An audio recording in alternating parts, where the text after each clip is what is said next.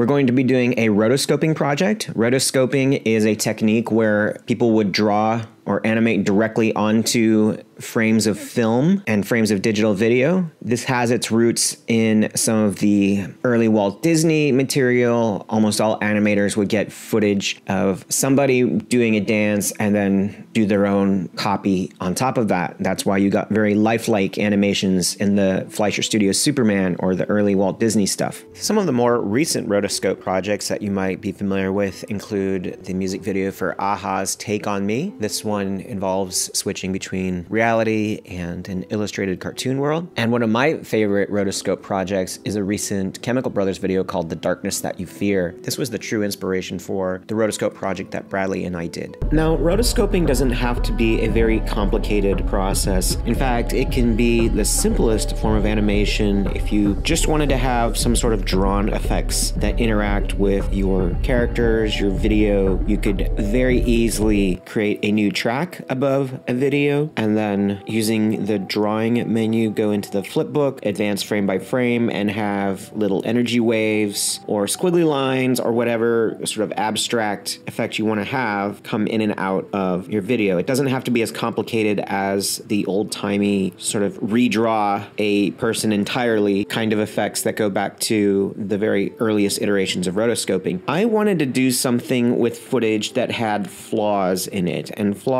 in my case involved a cluttered background and the fact that we had to clip Bradley's wedding dress onto her to get it to fit. So that clip sticks out in some of our footage. Since there is no automated way to remove a background in Procreate Dreams, and you can't import footage that has an alpha, I decided to go ahead and just paint over the background entirely. Much like our colorization, there are parts of the background that aren't moving because I shot this on a tripod. So I'll go ahead and wipe those out. And the parts that are close to Bradley, where she moves around and interacts with it, I'm going to go frame by frame and paint over them with this solid white. The white is opaque. It's going to stay opaque. I'm using a brush that has kind of a jaggedy edge because I think that's the aesthetic I want to go for with this. Something that's very expressive, something that absolutely contrasts with a lot of the kind of uh, animated AI filters that you see on apps like Videoleap. I'm also doing this at a lower frame rate than the colorization for time's sake, for simplicity,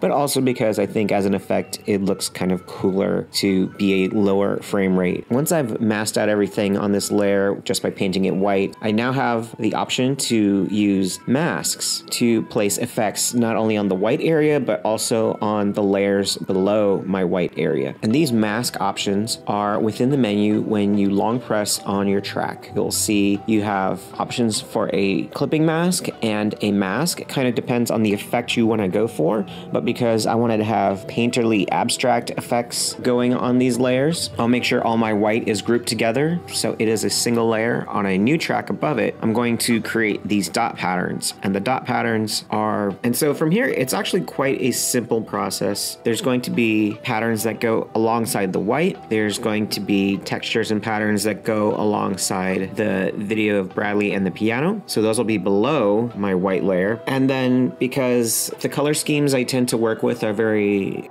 blue and gray and not necessarily super poppy. I do want to have an element that really leaps out. I'm also kind of visualizing this as a watery looking effect. I'm going to use watercolor textures on the track that is going to be masked with Bradley and the piano. So I think I'm going to draw a jellyfish and just make a simple frame by frame animation that once I've drawn this, I'll group them, which is this rectangular icon here. I'm going to draw around my group group with the Apple Pencil, go into the menu in a long press within that section and group them. And now I can copy and paste my jellyfish effect as frequently as I want to see it within my video. Everything that I want to loop, I'll do as many drawings as are required, and then I'm going to group them, copy and paste. And you'll be surprised. And and this really allows for some lengthy video making that is creative but isn't too labor intensive. I'm not drawing on hundreds of frames. I'm drawing on as few frames as I need for my looping animation. Grouping, copying, and pasting. That's